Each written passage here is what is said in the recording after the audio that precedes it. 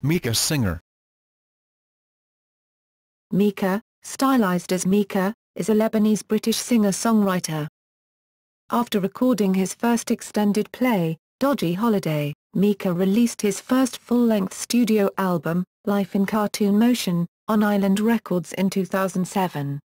Life in Cartoon Motion sold more than 5.6 million copies worldwide and helped Mika win a Brit Award, winning Best British Breakthrough Act, and receive a Grammy Award nomination. In 2006, Mika started up his company, Dodgy Holiday Tours Limited. Two years later Mika released his second extended play, Songs for Sorrow, of which limited edition copies are now sold out worldwide. In 2009 Mika released his second studio album, The Boy Who Knew Too Much. Finishing his worldwide tour, Mika recorded his third album, The Origin of Love, stating it would be more simplistic pop, less layered than the last one.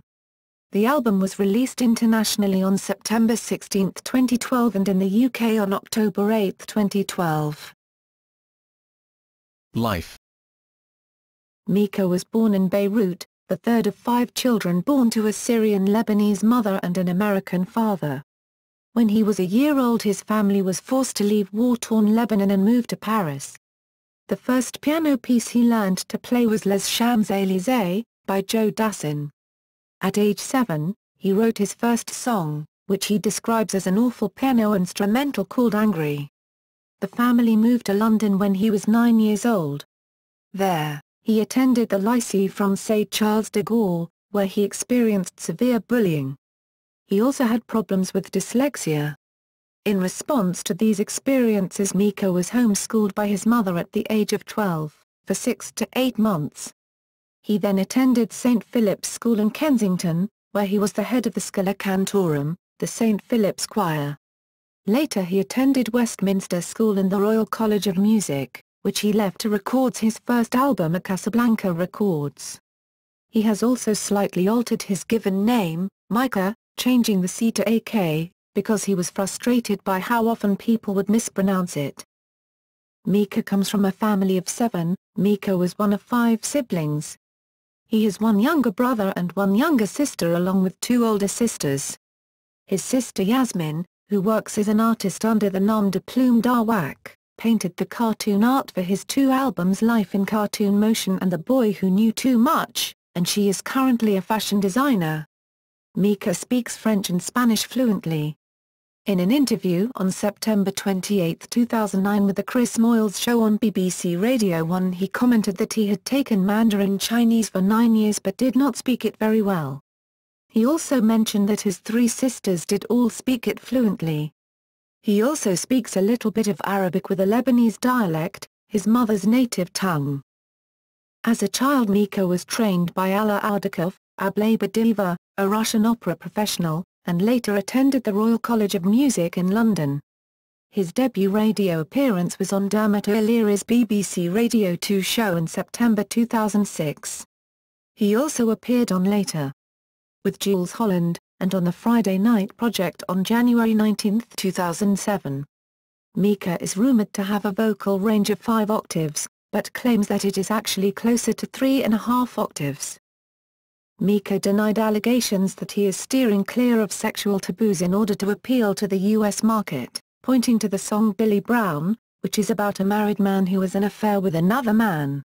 He is quoted as saying, if I was worried about sexual taboos I certainly wouldn't have made the record I made. It has nothing to do with that. It has more to do with self-respect. In an interview in the US game magazine Out he stated that there is a way of discussing sexuality without using labels. In a September 2009 interview in Gay and Night Mika commented on his sexuality, I've never ever labeled myself. But having said that, I've never limited my life. I've never limited who I sleep with. Call me whatever you want. Call me bisexual, if you need a term for me. Later he stated in an interview with This Is London I consider myself label-less because I could fall in love with anybody, literally, any type, anybody. I'm not picky.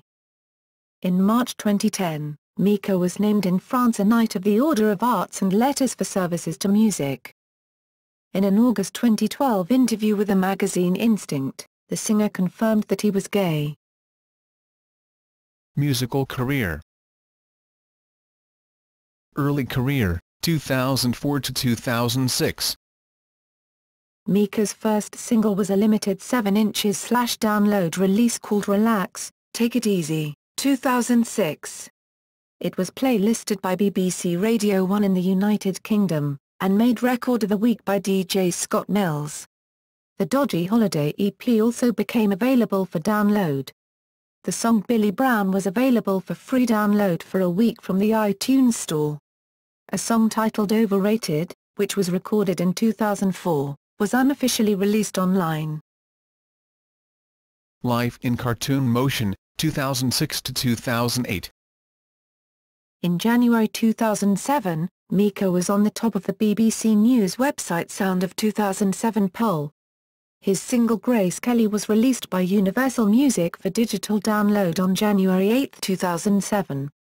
It reached number one on the UK singles chart on January 21, 2007. Mika's debut album Life in Cartoon Motion was released on February 5, 2007, and has brought comparison with artists such as Freddie Mercury, Scissor Sisters, Elton John, Prince, Robbie Williams and David Bowie. Grace Kelly, in fact, references Mercury in the lyrics, I try to be like Grace Kelly but all her looks were too sad so I try a little Freddie I've gone identity mad. Mika was the musical act for The Tonight Show with Jay Leno on 26 March 2007 and 14 February 2008 and for Jimmy Kimmel Live! on March 27, 2007. He also performed live on So You Think You Can Dance on July 26, 2007.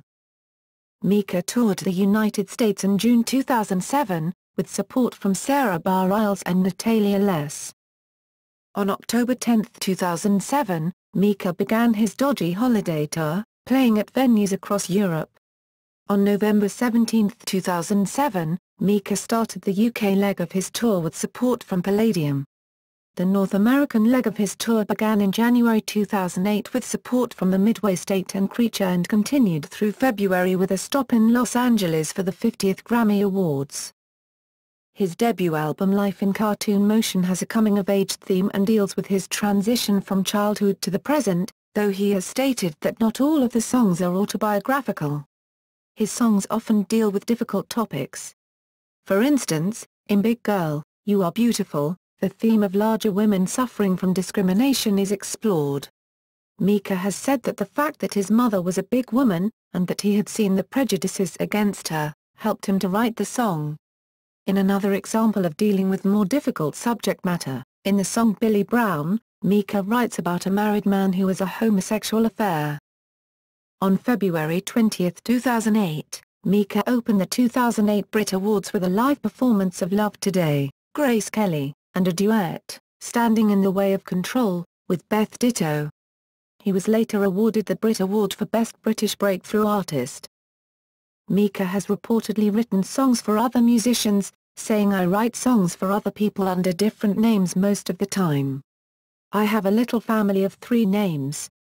One of them has been discovered, it's Alice. The Boy Who Knew Too Much, 2009 to 2010 Prior to the release of his second studio album, Mika released a limited edition extended play titled Songs for Sorrow on June 8, 2009. The EP includes four tracks and a 68-page book featuring lyrics and exclusive illustrated interpretations of each song by some of Mika's favorite artists. The song Blue Eyes was used to promote the EP, and was A-listed on the BBC Radio 2 playlist. Mika's second studio album The Boy Who Knew Too Much was released on September 21, 2009.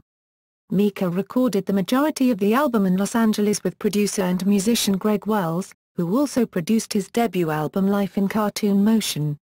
The album has been described as Mika dealing with his adolescent teenage years and in a sense is kind of part two of his first album. The album was originally titled We Are Golden after the first single from the album, We Are Golden. On July 20, 2009 in an on-air interview with DJ Jo Whiley on BBC Radio 1, Mika revealed he was considering renaming the album, because he wanted something a little more ridiculous. On August 6, 2009 it was confirmed that the album's title would change to The Boy Who Knew Too Much. The first single from the album, We Are Golden, made its radio debut in the United Kingdom on July 20, 2009, on BBC Radio 2 and was released for download on September 6, 2009, with the physical release following on September 7, 2009. The single debuted at number 4 on the UK singles chart on September 13, 2009. Mika's promotional tour of the single included live performances at the iTunes Festival 2009 at the Roundhouse in Camden, London and on Friday Night with Jonathan Ross in September 2009. It was reported that Mika spent PS 25,000 on drinks after inviting fans to join him at his local pub via Twitter on September 7, 2009 to celebrate the release of his single. Blame It on the Girls was released as the second single in the United States and Japan. This was alongside Rain being the second single in the United Kingdom which was released on November 23. It was confirmed that Blame It on the Girls will be the third single in the United Kingdom and will be released February 15, 2010. His American promotional tour consisted of live performances on Good Morning America in New York City on September 25, 2009 and The Late Show with David Letterman on October 14, 2009. In November 2009 Mika performed Rain and We Are Golden Live at the Sydney Opera House for the Australian Idol Grand Final. He also performed on Sunrise on the Seven Network in Australia. On November 30, 2009, Mika performed Let It Snow in a duet with Japanese pop star Hikaru Utada. On March 21, 2010 Mika performed Gave It All Away with Boys on ITV1 for Boys, a tribute to Stephen Gately. In May 2010 Mika released his new single Kick-Ass, We Are Young, the title track to the 2010 film Kick-Ass. The Origin of Love, X Factor Italy and Songbook Volume 1, 2011 present. Mika has begun recording his new album. He has stated in numerous interviews that the new album will be more simplistic and less layered than the previous album. Mika announced the title of the album, The Origin of Love in a French interview on June 17. Mika has also said that he will include a number of French tracks on the album, and that the musical style will include elements of Daft Punk and Fleetwood Mac. He describes the album as less childlike and more serious. The first single released from the album is Elle Me Dit, Mika's first French track. It was released online on July 1, 2011. Nick Littlemore of Empire of the Sun, Paul Steel, Fioz, William Orbit, Doriand, Priscilla Renea, Billboard, Hillary Lindsey, Ellie Goulding, Farah Williams, Benny Benassi, Martin Solveig, Klas Åhlund, Wayne Hector, and Greg Wells are all confirmed to be involved with the production of the album. On June 8, 2012, the video for Make You Happy was released on Vimeo. The song served as a buzz single for the album. On June 14, 2012, Celebrate, which features Pharrell Williams, was announced as the album's lead single.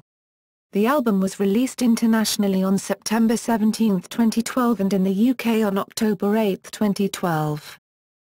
On March 6, 2013 Mika announced a new tour and after taking some time off, had been writing his fourth album as well as songs for other artists over the previous few weeks. Mika also hinted that new material may be released towards the end of 2013. On April 23, 2013 Mika was revealed to be a new judge on the seventh season of the X Factor Italy. He will be the first international mentor on the Italian edition of the show. On October 23, it was announced that Mika will be releasing a compilation album in Italy titled Songbook Volume 1 including music from his three previous albums, plus new reworked tracks. On January 17, 2014, Mika took part in the Italian television show L'Invasione Barbarica on La 7, and with the Nobel Prize in Literature Dario Fo, performing a duet on the song Ho Visto Henri, written by the same Fo and already played by Enzo Jannacci. He has joined The Voice, La Plus Belle Voix, replacing Louis Bertignac, on the third season.